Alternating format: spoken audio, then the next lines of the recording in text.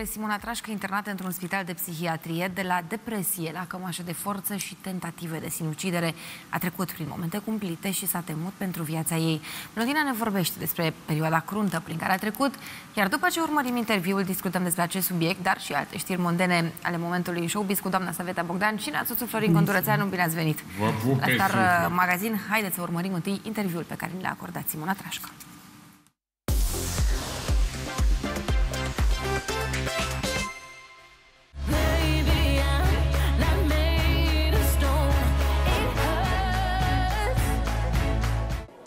Foarte mulți ani am fost depresivă, toată lumea știe, foarte depresivă, cred, sau exagerat de depresivă.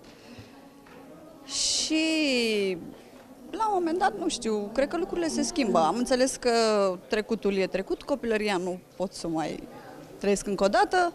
Ce a fost, a fost și n-are rost să sufăr pentru trecut. Povestea că ai da, fost clar. închisă într-un da. azil, adică lucru greu.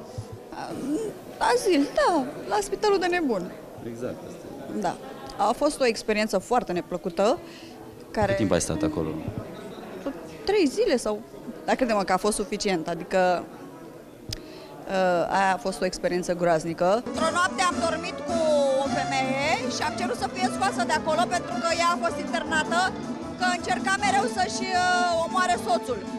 Și mi-a zis că mă omoară, că m-am furiat foarte tare pentru că am o problemă din copilărie când cineva este violent cu mine, văd negru fața ochilor și mă apăr și am zis, băi, scoteți-o pe asta de aici, că dacă nu mă omoară ea, o omor eu, știi? Și au scos-o. Nu am avut voie să am nici măcar uh, cercei în ureche, de, de, să nu mai vorbim de telefon sau nu știu ce, absolut nimic. Deci erai ca la pușcărie, cred, pentru că ușa închisă, veneau să-ți dea tratamentul când uh, considerau ei, dacă nu luai, cam așa de forță, luai oricum, înțelegi?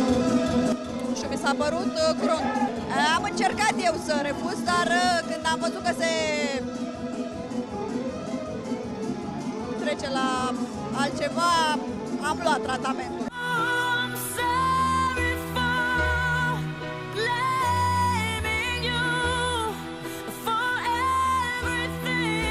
Ai fost la un pas să te sinucizi, dar te-ai gândit, pe ce se întâmplă cu copilul tău.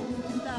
Nu știu, ce ai simțit în momentul ăla? Nu eram prea conștientă când încercam să fac chestiile astea, adică îmi doream foarte mult să fac chestia asta și nu mă mai gândeam la repercursiuni sau nu știu, la cei din jur uh, și a avut un mare impact uh, momentul în care am ieșit din spital am întors acasă și copilul meu era foarte supărat pe mine. Mi-a zis că nu vrea să vorbească cu mine, că la el nu m-am gândit.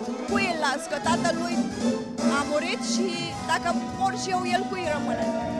Și din momentul ăla n-am mai încercat niciodată să mai fac treaba asta și nu mi-am mai dorit. Nu știu, m-a marcat foarte tare.